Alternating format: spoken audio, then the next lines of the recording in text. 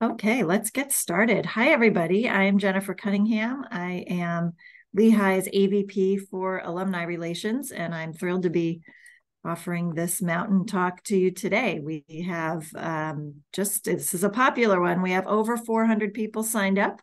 Um, about 110 of you are on right now, and I'm sure the rest will get the recording which we are doing. So if you do have to drop off or you find this really um, fascinating and want to share it with a friend, you'll get a link to the recording um, in a in a couple days. Um, so today's topic is uh, carbon capture revolution uh, by Professor Arup SenGupta, who is a Rossin professor in the Department of Civil and Environmental Engineering and the Department of Chemical and Biomolecular Engineering here. Um, he's nationally, internationally recognized, has written some books, won a lot of awards, um, and of course teaches here at Lehigh. Um, so the way this is going to work is we're going to hear from uh, Professor SenGupta for 10, 20 minutes, and then uh, it will be time for you to ask your questions. And you can do that through the chat, which is at the bottom of your screen, probably. Just um, click that button and you will see the chat come up. I will read the questions um, so that Dr. SenGupta can focus on responding and I'll group things together if a few of you have the same. So, and if you have any questions that we don't get to, um, we'll provide you with um, Arup's email and you can uh, connect with him after the webinar. Okay, let's get going. Dr. SenGupta. Good. Uh, Good early afternoon, everyone. Uh, this is a wonderful webinar setting where all of you who are there can see me, but I cannot see any of you. So to start with, it is a little bit unfair, but so be it, you know, because I'm still kind of in the driver's seat. Uh, you all, I'm hoping, can read, you know, clearly the, the title of the talk, Mitigating Perils of Climate Change, Unmet Global Needs and need for an inclusive technology. I deliberately accentuated the word inclusive. And during my talk, I'd like to clarify that particular word there. So here I go, you know, but I'll start with an example, you know, which apparently is not related to climate change or carbon dioxide, but this is very much about a major scientific invention which basically transformed the world for a quite a long period. But later on, it was under scrutiny. And then basically, to a great extent, that invention was also kind of condemned. That's also uh, history of uh, uh, progress of human society uh, on, on many, many fronts. So this example, quick example, is all about a chemical called, you can read that probably at the top, rise and fall of DDT. DDT is a chemical, and this is called dichloro, diphenyl, trichloromethane, fancy name, but we all call it DDT. It was synthesized in 1874, but until 1939, we didn't really know uh, when the Swiss scientist, you know, Paul Muller, come in and kind of uh, showed us the insecticidal properties of DDT in controlling diseases like malaria, yellow fever, things like that. The year is also very important, 1939, the beginning of Second World War. In 1945, we kind, there was a consensus that global use of DDT in the control of diseases such as malaria and yellow fever. And this is the guy who invented or discovered it. So quite naturally, he was rewarded or awarded Nobel Prize in physiology and medicine. I mean, quite an accomplishment, if not the highest one, in our kind of world. In 1962, some a lady came out in Pennsylvania from Pennsylvania. Finally, she wrote a book in 1962 called Silent Spring. And this is the first scientifically oriented environmental activist. And she showed scientifically that DDT over a long period of time through biomagnification had some very serious health related impacts, including cancer and other things. So you can see then in 19, 2004, in the Stockholm Convention, this particular chemicals production was for all practical purposes a banned, you know. So this is the journey from height of grace to kind of infamy for DDT. For many other things, it has happened. But one thing is important.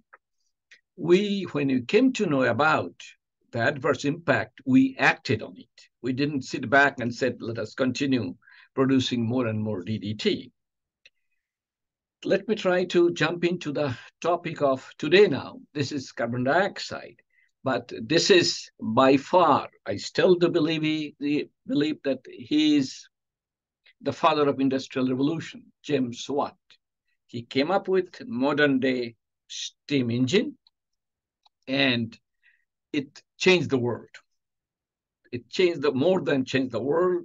All over the world, there are now these uh, plans, railways uh, in uh, Europe, in the United States, China, India, all over the place. And you can see at the top, gas is always going out and the fuel used used to be coal, okay? And the gas is, among other things, is carbon dioxide. And this is something James Watt steam engine, and it started during that period. And if you take a look at how the topic of today, you know, CO2 level in the atmosphere has changed since then. So here is the carbon dioxide level 1760, which is kind of somewhere when James Watt was living, 278 ppm in the atmosphere. And now this is 417 ppm. We all know that industrial revolution uh, is uh, the reason kind of behind this uh, rise in carbon dioxide level. So quite naturally, things have come to the fore or come to surface now. And that's basically what we are trying to act on. And, and here, to a great extent, even now, how progress industrially uh, developed a country is, that is kind of expressed or can be expressed simply by how much carbon dioxide uh, per capita a country is kind of emitting. Quite naturally, United States, you know, near the top because we are kind of deindustrially developed nations. Others are there because population is low.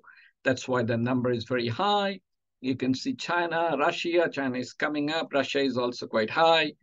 Japan, Germany, and quite naturally, India per capita is still very, very low for understandable reason. This is a barometer or index of how really developed a country is. And quite naturally now, CO2 is also maligned because of its impact on climate change and global warming. What is missing uh, in our database or in our regular uh, news media? This is CO2, which is very high.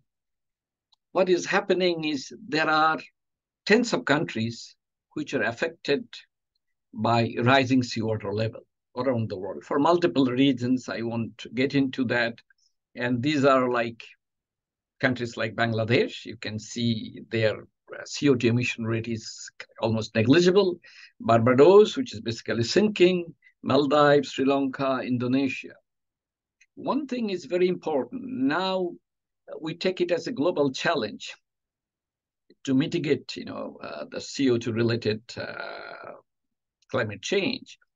And whatever we are doing, uh, most of these countries, if not all, who have been suffering a lot, they are left out of the equations. That means they are not almost being allowed to play any contributory role to mitigate this crisis. And I sincerely believe this, if we consider this climate change to be the third world war, we need a lot of allied forces, a lot of countries. So question also is, can we create technology where you can bring in these small seemingly underdeveloped countries, but the technology will be so simple to deploy that they can also play a kind of allied force uh, role or participant in this uh, climate change work. What is the recommendation? Something called, it's known, IPCC or Intergovernmental Panel on Climate Change. they call it the 2050 is the ultimate limit. By that, we must attain net zero. That means if we emit something, carbon dioxide, we also have to take it out. So it's a very simple formula. And the world, at least uh, in words or in paper, uh, want to move in that direction, including the United States. How does one do that? If you look at or the possibility of how we can reduce the CO2 emission and reduce the CO2 level in the atmosphere, it can happen only three ways. Okay. The first one is we are doing it, you replace the fossil fuel with renewable energy, like a, it can be uh, solar, it can be wind, things like that. So that's one. People have been doing that. It is growing. The second one is wherever we are emitting carbon dioxide, we control that say this is the plant, this is we call point source or flue gas. Uh, many of you uh, at one time very likely studied at Lehigh, and maybe the Bethlehem Steel was in full bloom that time. So they were emitting something like this every day. So it's a matter of going out to, to those exit streams and then capturing the carbon dioxide. That's what it is. That means go and control the so-called point sources where the carbon dioxide concentration is very high. But there is another one. This is a very nice uh, kind of photograph, it's ocean and, and the blue sky. But we can also capture carbon dioxide from there. So this is the most current one, most challenging one. It is called direct air capture. That means you can capture CO2 directly from atmosphere. The advantage is that this technology, if it is developed, can be deployed anywhere. It can be uh, in the middle of the ocean. It can be in the mountain of Himalayas. It can be in the middle of deserts. You go there and capture it. One more thing also happening. Because of increased CO2 level, the acidity in the ocean is dropping. Uh, acidity in the ocean is increasing and pH is dropping. And that's how many, many aquatic organisms or lives, they're gradually facing extinction. But what is the challenge in direct air capture? The challenge is enormous. That's that if we look at atmosphere, it is primarily nitrogen, 70, approximately 78%. Oxygen, approximately 21%. Carbon dioxide, only 0.0%. It's like a 400 ppm, it's nothing. So capturing CO2 from a background where carbon dioxide is literally insignificant, that is the challenge is. But there is also one kind of bright area. Carbon dioxide is the only acidic gas in the ambient air. That means it's a very weak acid. When dissolved in water, it creates carbonic acid. And we'll look into that. Now, here, question is, how would one deploy in a very simplistic way? The way direct air capture works is that, and such plants are already existing, not too many, but very few, but that's the way that you use a large fan. This is air from atmosphere. It can be in any location. Then you pass it through what we call filters.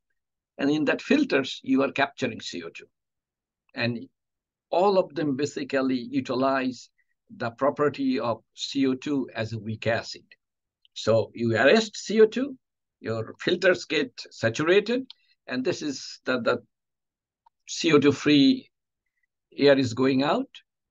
When the adsorbent becomes saturated, you basically heat it to release the CO2, then collect that CO2, and then use it for multiple ways, one of them being geological storage. You can do that carbonation.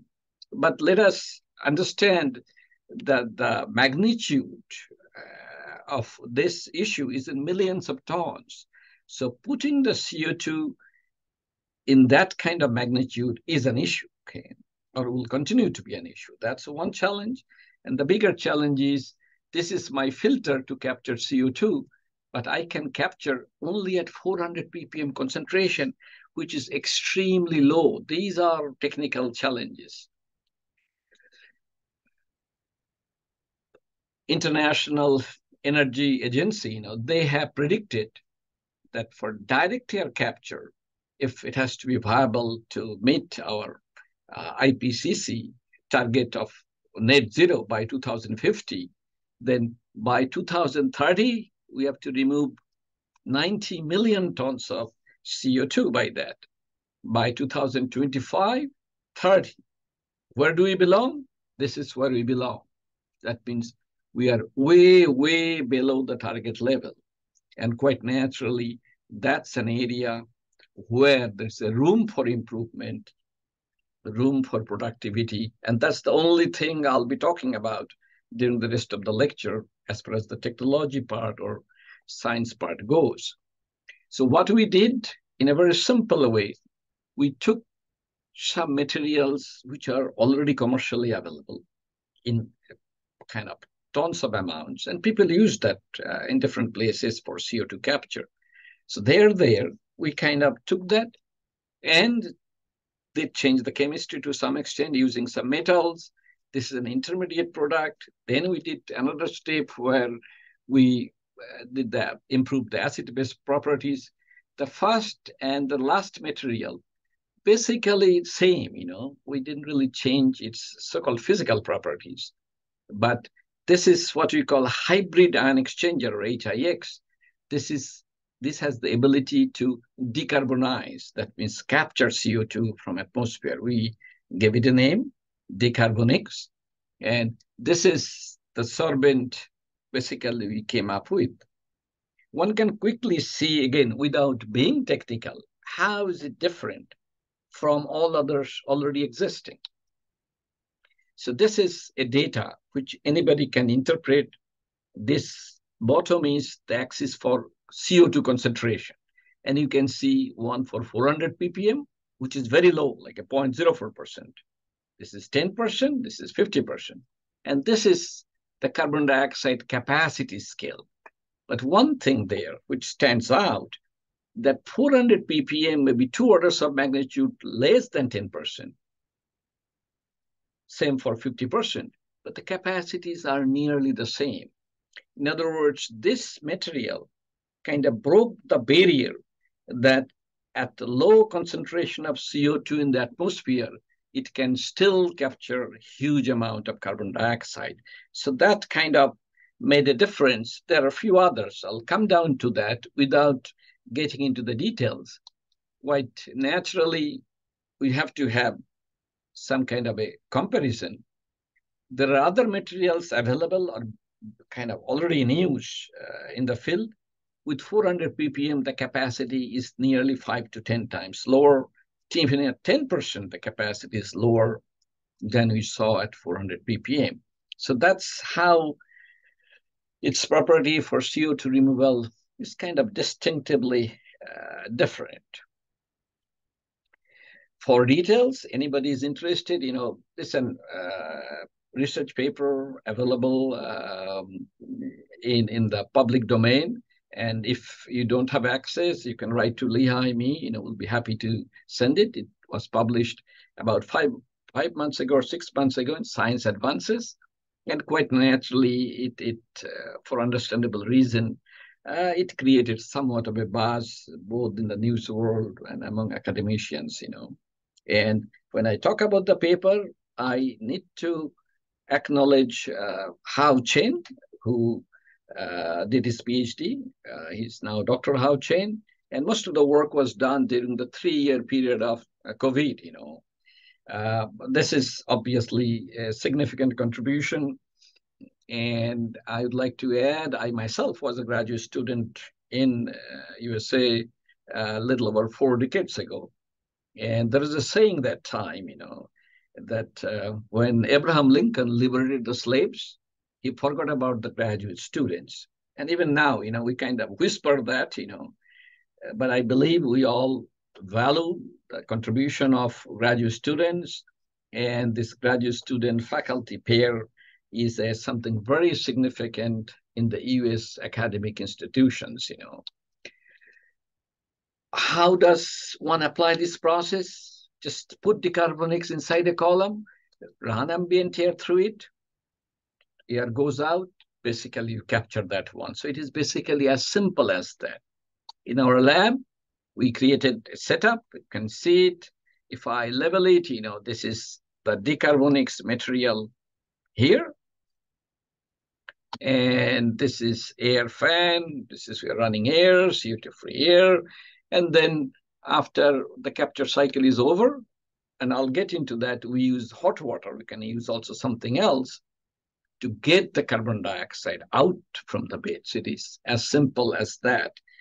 And by uh, saying that, I mean that I personally don't see any high level of difficulty in deploying this kind of technology in 100 other countries which are not technologically very advanced, but suffering from climate change effect and can be a part of this so-called crusade, you know. So we take the bait, all we do is we run hot water and you can see tap water at 10 degrees, 80 degrees centigrade, very simple. And this is all CO2 coming out. This is at ambient temperature and nothing happens. Just all you have to get hot water, the column, and this thing happens. This is a reaction, one doesn't have to understand, but the fact remains this is the carbon dioxide in the presence of hot water this reaction is accelerated and this is the carbon dioxide which is coming out. So you bring it in contact with hot water, carbon dioxide comes out, then put it back into operation for capturing CO2 from the atmosphere again. So this is basically as simple as that. There is also more to it because in the previous mode of desorption or regeneration, we collected carbon dioxide. The question is, where does it go? People would say there are underground geological storage. For multiple social, political reason, it may not be that easy in many parts of the world. So here comes another avenue that we can install this uh, deployment for direct air capture in the middle of the ocean or near the shoreline.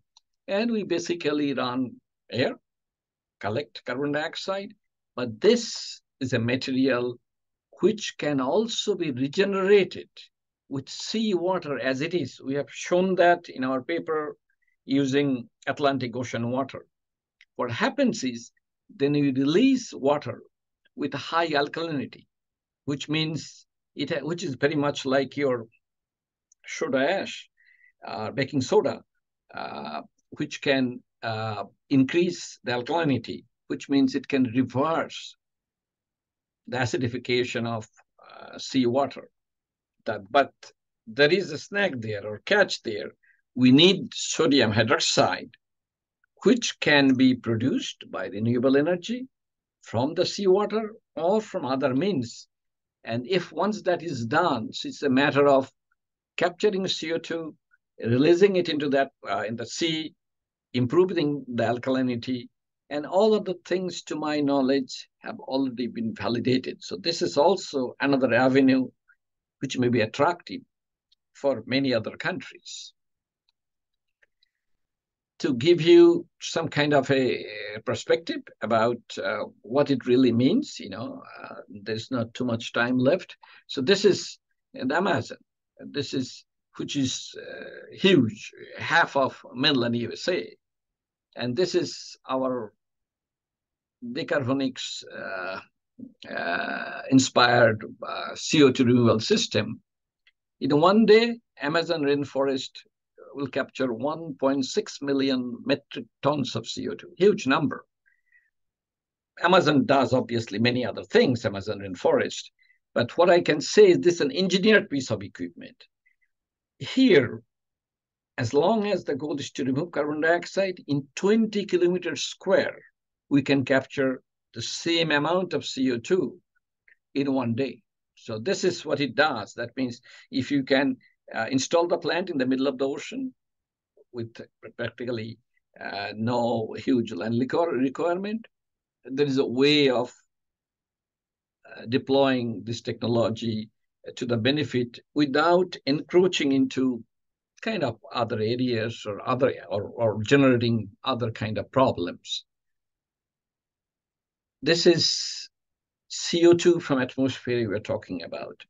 I know CO2 has been maligned, you know, because of its uh, uh, temperature rise, uh, all this uh, kind of uh, unexpected bad weathers, uh, which is part of climate change. But it should also be looked at from a different kind of perspective. The CO2, what can we do with CO2? We can put it underground. That's a possibility. We can put in the seawater. There it does something. It reverses the acidification of the ocean. There is a possibility carbonation of, we are doing that, carbonation of soft drinks, beer, things like that. There is a possibility of using this CO2 with hydrogen, which is being generated by many people, to produce methanol which probably would be the next fuel replacing petroleum in in a few decades. And at the same time, we can also produce algae, which can lead to many other products. So this is not exactly kind of something very undesirable suddenly, but there are opportunities and and and all uh, the crises basically also lead to opportunities for invention and, and innovation. And that's also how we should look at this crisis. So that way, uh, maybe new opportunities will arise from different field. This is, as I said, showed you earlier, this is our DAC uh, goals. And this is where we are, which is we're far below. But the thing is, if we have to cover this shaded part, if we have to improve our performance, we need technologies which are not just limited to uh, application by the United States or a few other handful of countries uh, in Europe. We have to take the technology down to 100 other countries. They can always run it. There is nothing significantly uh, difficult there. And without their inclusion, uh, it may be nearly impossible to address this crisis. So that's why I call it inclusive technology, the technology where we think in advance, which is kind of deployable in many other places for the same benefit because it affects the planet almost uh, uniformly. Uh, lastly, through this invention, you know, we have some, Lehigh has some intellectual property and we kind of got into license agreement, got that one, and I was instrumental in creating a company. The name of the company is Jivan Climate Solutions. And you can see this is the formula of carbon dioxide, COO. 11 means this is the 11th hour, okay? And Jivan is a Sanskrit word. Uh, uh, it's the oldest language. It means life, okay? So that's the part. We already have some space in the mountaintop, uh, incubator space, and some people are working. You know, we are very ambitious. Lehigh has been very cooperative. And the goal, obviously, is to create an inclusive technology for rapid global deployment. That's the way we're moving. And one thing, and I'll end up with a uh, short quote, but the fact is, this is a kind of difficult challenge. You know, there are uh, many obstacles, uh, but it is not insurmountable.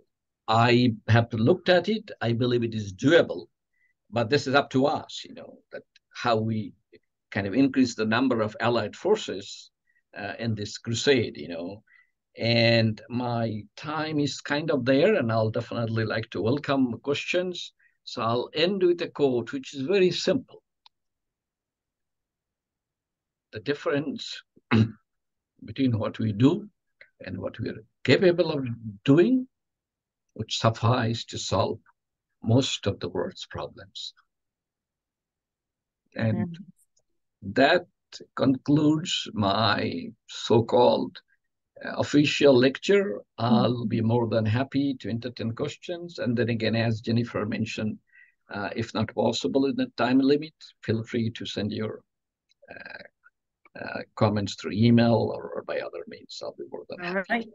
Yes, we have a lot of questions. Um, so I will start. Um, Stan was asking early on in the presentation about um, why we measure CO2 by um, per capita instead of by country. Is that just the standard or is there a reason for that? No, I guess both of them are there. If you mm-hmm. go back, if I can I go back to my, you know, in my slide deck, mm-hmm. there's also one for uh, the country. Okay. Oh, there is. Okay. There okay. is one for country. So that's also very common. And if I go there, you'll see China is higher than USA. Mm-hmm. But then, then again, you know, after all, we are human beings. The, the number of people should matter. Right. And, and and that's the part, you know. But yes, those numbers are there. This is another slide there. Okay. But but I replace that with those countries which nobody pays any attention to. But those are the countries who are suffering most. Nobody cares. Barbados or Maldives, they only use that as a clip, you know. But they have to play some roles. That that's the way I look at the problem. Mm. Okay. Uh, Brett asked um, Does carbon capture need to be geographically close to the sort of the carbon emission, or can it be anywhere in the world? Yeah, I, I think I tried to kind of uh, clarify this thing. There are three ways to capture carbon. One of them is point source. So uh, go near electric power utility, they are burning, say, oil Mm-hmm. So through their stack, carbon dioxide is coming out. Remove that. That you have to go near the source. Whereas direct air capture, we we can do that in our backyard. We can do that in the Himalaya. We can do it in the desert. But the mm-hmm. challenge is the carbon dioxide level there is very low. So when you capture, that means you have to treat a lot more air. So uh, you need a very powerful or selective adsorbent. That's the challenge. Yeah. So that's that's the, why it's a separate category, direct air capture. The good thing is any society, any nation, any country, even island countries, can play a beneficiary role because they know, don't need a steel plant or electric mm-hmm. power utility to find that one. Okay. Um, so Daniel asks um, if CO2 is such a small part of the atmosphere relative to other gases, why is climate change even an issue? Oh, okay. That's, you know, this is that was not part of my lecture. Other people have done that. Mm. Uh, I know it, but I do not claim any expertise because carbon dioxide can act as a heat trap. Mm. Nitrogen and oxygen doesn't. So when the uh, visible and ultraviolet energy come from the solar, they get reflected back from the earth, they turn into infrared, and CO2 can capture that because mm-hmm. of its molecular property. Oxygen, nitrogen doesn't. Okay. And since it captures, then that causes the warming, you know. So they are beneficial, but if their concentration increases, then it becomes more and more warm. Okay. And then the, another question about that if it's very successful, is there a risk of removing too much CO2 from the atmosphere? Uh, I won't call, yes. If, if there is no CO2, probably there won't be any life in the planet because the temperature will be so damn low, you know, minus 50 degrees centigrade or something like that. Mm. But I won't call that a risk because we are monitoring CO2 mm. every day or every hour. So we are not going to take it below 350 ppm or 320 ppm, you know, we'd be very happy. But yeah. that number is an astronomically high number. Mm. I don't think I'll see that. You know. um, well, what is the cost per ton of CO2 removed? Okay, so you can very quickly see, you know, whether the question is for me or other people working in the area. The goal is to get to the point of $100 per ton, at least for direct air capture, okay? Yeah. I, all I can say is with due humility, I have done my theoretical work. You can see it is going from laboratory to the field now, okay? But again, you know, we can do some calculation, predict. I believe this is, and here the operating expense is the main expense. OPEX, by OPEX, I mean you have to run your fan. That means you need energy. You have to desorb, that means you have to put the heat. These are the two. what we have seen again and again, if we consider the OPEX, it is possible to get the cost below $100 per ton. Uh, the fixed cost, obviously, it will vary on, on many other factors. So $100 per ton is a possibility. That should be the goal. Right now, the number is much higher for other people who have been doing it, much, much higher. Nice. Okay. Um, people are asking about your solution and whether do you have a patent on that? Um, and also how scalable is it? Uh, first of all you know uh, we have a patent through lehigh university okay. patent application. It takes a long time. Yeah. And then now we we are the licensee. This gbon gbon uh, climate solution is the licensee so that's where it stands you know and there are maybe other patents will follow uh, and uh, the, the other question was scaling up, you said, right? Right. Okay. This is the part. I believe it can be scaled up. I said a few words about the material because material is, parent material is commercially available, okay? So we can make this material in tons in almost no time the system design is also very straightforward. We are working on it, you know, and I can see in three months we can go up to 100 tons per year CO2 removal, which is very significant. And then in one year, maybe 1,000 tons. So, so it is very much scalable because there is nothing really there that we already don't know about once we have got the uh, filter material or the adsorbent material. All other uh, elements they're already established in science and engineering. Okay. Um, and do you have an estimated time frame required to how much you could scale up this solution? I want to solve the problem. Yeah. yeah, and people uh, are but, also but asking... that depends. You know, we are proceeding, and it's it takes money. It takes this. There are many people who are interested. Many mm-hmm. large companies who are interested they're talking and talking, but you know, I'm an academic. This talking goes too long sometime. You know, I'm not used to it, but people say that's the normal way. Uh, so that's the part. But I think uh, the money part is important. But we we are ready to move forward. Also learn. It is technology is not a magic. You know, we'll learn things mm. and then change, then go. But I have not seen anything so far where mm. it cannot be scaled up or this the so-called climate change crisis because of carbon dioxide. There are many other factors there. It cannot be resolved if we have the right kind of attitude toward it globally. Mm, yeah. Um, so there's a lot of technical questions on here. I'm going to switch gears a little bit to Pan's question. She says, "Great talk. I learned a lot um, how she wants to know how you got this idea, where your inspiration came from. Was it a random talk with colleagues? Were you hiking? Did it was it a dream? how did this? See, uh, uh, the thought I, I probably nobody has praised COVID for any good reason. So this happened in the COVID time. Okay, so for almost uh, more than two years, uh, I cannot. I'm not a person who can sit at home and work from home doesn't suit me at all. Okay. So I was a regular visitor to my this particular department or uh, building, and two of my students used to come, and we are probably the only three people in such a huge building. And then I work in a water area. So uh, all I can say is that I can give credit to my. I'm a chemical engineer by training. What I've done in creating uh, adsorbents to uh, purify water for people around the world, for arsenic, fluoride, this, that we have done work internationally to provide safe drinking water to the rest of the world. That knowledge was helpful. That's the part. And, and the, the loneliness or solitude of COVID 19. Mm, okay. So, yes, that is one thing. um, a lot of people are asking about the water um, that once you remove it, is it still potable? Is it still, you know, can you still drink it? Will it affect the marine life? What happens to the salinity of the seawater once you capture it?